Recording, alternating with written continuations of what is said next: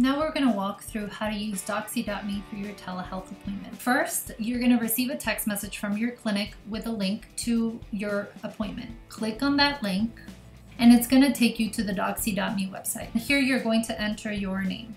This lets your provider know that you're ready to check in. One step that you need to take here is to give access to your camera. So click the big blue button that says enable camera.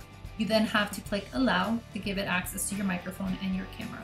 The app is checking you in now. You're now in the waiting room waiting for the clinician to let you in. Once your doctor is ready, you'll see the screen turn white and the video will start. In this case, I'm playing both the patient and the doctor part, but you can see here that you have a few buttons Let's go through those. The first button on the left hand side is a button that looks like a video. To turn your video on and off, you simply press that button. When that button is red, it means that the video is off, and when it's black, it's on. The button next to that is a button that looks like a microphone. It helps turn your audio on and off. Third button that looks like a wheel is your settings. And that allows you to make changes here if you wanted to move the camera from being your front camera to your back camera. If for any reason you have trouble hearing during your call, we do recommend that you look into turning off the video settings on the call just to ensure you have better bandwidth or better access to signal. And then the last button you have available is one that looks like a phone. To exit the call, simply press that button. You're going to see a confirmation, and that's how you use Doxy.me for your telehealth appointment.